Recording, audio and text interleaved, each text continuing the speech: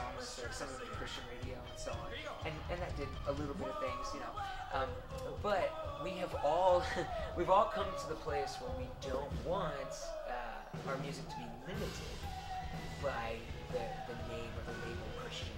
Um, like you said, we're all Christians. We all have faith, um, and we all believe certain things, and so that definitely influences what we write.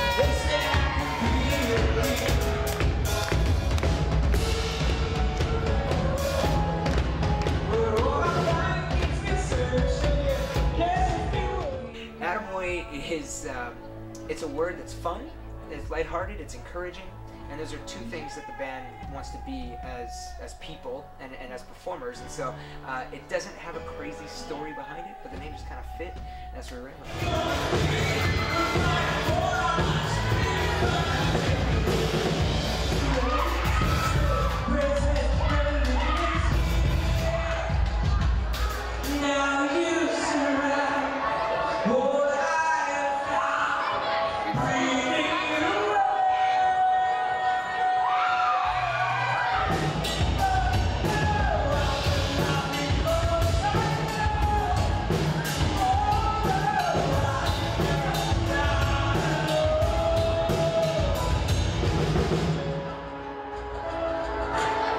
Originally the band was um, just a bunch of friends played music in in college. Uh, they, they weren't music majors. They just uh, just liked to play music. So they would do open open mic nights, and coffee houses, and just a bunch of random shows.